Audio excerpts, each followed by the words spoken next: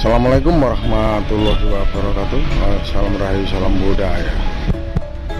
Uh, Salam sejahtera bagi kita semua. Om Swastiastu, Namo Buddhaya, salam kebajikan. Uh, Kali ini kita dapat kesempatan ya Mereview atau mengulas Dari kampung Majapahit ya lur ya. Soalnya ini Tepatnya di Kecamatan Trawulan ya dari Kabupaten Mojokerto.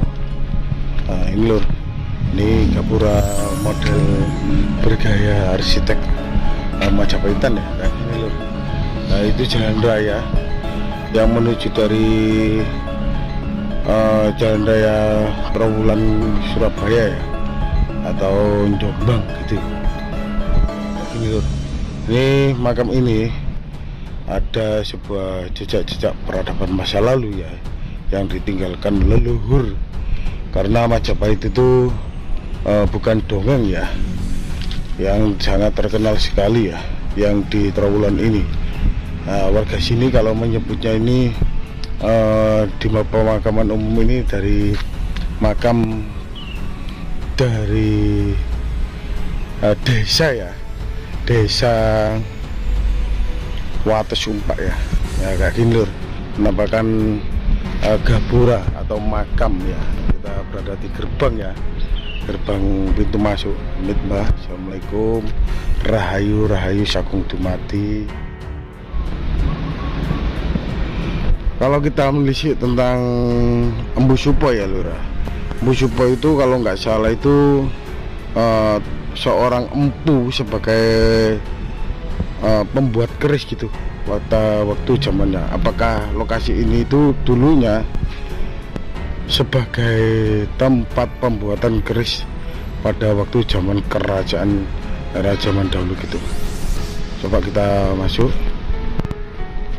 Mbah soalnya biasanya itu leluhur uh, Majapahit atau pra Majapahit ya. Uh, biasanya itu meninggalkan artefak jenisnya batu dan bata. Nah ini lur ini ada gapura uh, masuk ya. Uh, gapura masuk dan ada juga cukup pendopo yang sangat luar biasa di atasnya putuk atau di atasnya ketinggian ya. Nah kayak gini lur. Assalamualaikum Waalaikumsalam Amit coba kita menisik ya. Uh, barangkali ada sesuatu uh, dari artefak jenisnya batu dan bata. Biasanya itu yang ditinggalkan itu di makam-makam umum itu biasanya itu ter uh, tergeledak gitu. Uh, dari jenisnya batu dan bata. Kayak gini lor nah, ini makamnya. Uh, penampakan yang di lokasi ini. Nah, ini ada sebuah uh, pohon yang sangat besar sekali ya. Atau pohon jati ini pohon jatinya lur itu roboh gitu. Ini ada batu. Apakah ini batu prasasti ya? Nah ini nampakkan yang di makam ini. Ini bergaya arsitek uh, jenisnya uh, bangunan kuno ya. Agak gini lur. Nah ini ini kayaknya itu uh, gapura masuk ya untuk menuju ke makam atau petilasan ya warga sini kalau menyebutnya itu petilasan dari Embu Supo. Gitu loh. Nah ini loh. Ini ada dari sebaran batu bata kuno ya. Ini menandakan jejak-jejak leluhur yang ditinggalkan ya bahwa Majapahit itu uh, bukan dongeng. Uh, contohnya yang di Trowongan itu banyak sekali temuan ya. Mulai dari situs Wates Umpak ya. Soalnya ini berdekatan sekali. Ini tempatnya di desa Wates Umpak ya berdekatan sekali dengan situs Wates Umpak gitu yang di makam Pusupo ini. Atau petilasan dari makam Pusupo ini. Coba kita masuk. Nah ini baru lur. Ini cuma ya sangat bagus sekali ya ornamen bangunan yang di lokasi ini. Ini bergaya klasik ya bergaya uh, gitu. Assalamualaikum, rahayu, rahayu, rahayu. Nah ini coba kita masuk loh. Itu ada batu bata kuno loh. Nah ini. Coba kita ke sini keliling-keliling menunjukkan pemirsa di sekeliling kita ya. nah ini. Ini jatinya sangat besar sekali. Sampai apa? Sampai roboh gitu. Kemungkinan usianya ya ratusan tahun ya. Kita berada di bawahnya pondok ini. Ini ada sebuah pohon juga ya. Pohon jati dan juga kayaknya pohon pohon serut yang di atas itu coba kita keliling-keliling. Nah, ini ada batu bata kuno lur. Ini ada batu bata kuno yang gembledak yang di sini ya. Ini menandakan jejak-jejak leluhur yang ditinggalkan ya. Ini juga ada yang berjari garis dua nah, yang cuma disayangkan itu tidak utuh gitu. Coba kita masuk uh, ke makam atau petilasan sini ya. Assalamualaikum. Rayu Rayu Sahabat mati nah, ini lur sangat bagus sekali lur. Pemandangan panorama yang di sini uh, sangat klasik sekali ya. Nah, ini luar biasa ya dibangun ya. Warga sini sangat antusias sekali ya membangun apa eh, jejak-jejak uh, leluhur atau uh, punden ya uh, punden keramat gitu. Coba kita keliling-keliling uh, menunjukkan pemirsa. Nah, ini ada kayak arca atau apa ya. Nah, kayak gini. Ini loh ini buatkan pen, uh, sebuah apa itu? Uh, ke, pendopo. Uh, kayak gini coba kita keliling-keliling ya. Ini sangat besar sekali jatinya. Ini model kayak candi bundak gitu. Ini melingkar ya yang di lokasi ini. Nah ini loh ada sebaran batu bata kuno ini batu bata kuno. Dan juga uh, kita berada di atasnya ini. Ini pohon jati yang sangat gede sekali. Nah, kayak gini loh. Dan juga ini banyak sekali. Kita dapati dari sebaran batu bata kuno ya. Nah, kayak gini loh.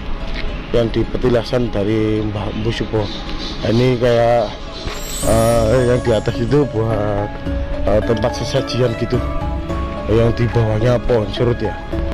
Uh, ini lur pohon serutnya sangat gede sekali. Dan juga ini pohon jati ya. Uh, kayaknya itu uh, ribuan tahun atau ratusan tahun ya. Coba kita keliling-keliling uh, menunjukkan pemirsa ya. Nah, ini loh ini ada takiran ya. Uh, coba kita dekatkan sini aja ya. Ke lokasi dari uh, petilasan dari Mbah Empu Supo. Itu lur nah ini ini tradisi Jawa. Terutama itu tradisi dari ajaran Budi ya. Uh, ada sebuah kopi uh, takiran masih dilestarikan oleh warga dari desa ini ya. Luar biasa ya jejak-jejak peradaban masa lalu terutama itu jejak-jejak leluhur yang di terowongan ini ini masih dilestarikan terutama itu tradisi sogo atau menghormati atau kirim doa pada leluhur gitu.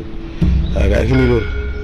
Ini tradisi-tradisi uh, lama terutama itu ada tradisi dari agama Jawa ya agama Kapitayan masih ada sampai saat ini.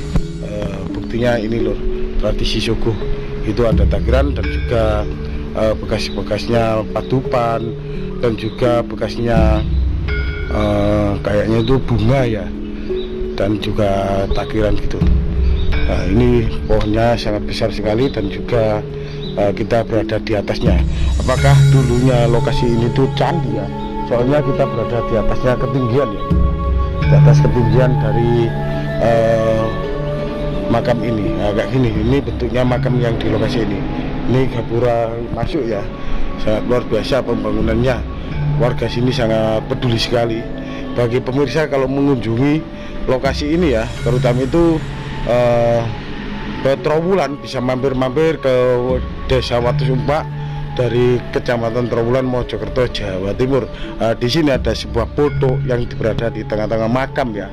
Uh, ada sebuah peninggalan dari atau petilasan dari uh, Empu Supo gitu. Luar biasa ya.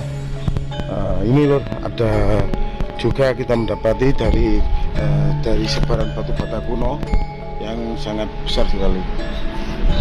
nah, ada bekas-bekasnya Sogo yang di lokasi ini banyak sekali bekas-bekasnya Patupan ya nah, ini loh pohonnya sangat besar sekali dan juga uh, dikelilingi dan juga dikasih kain mori gitu.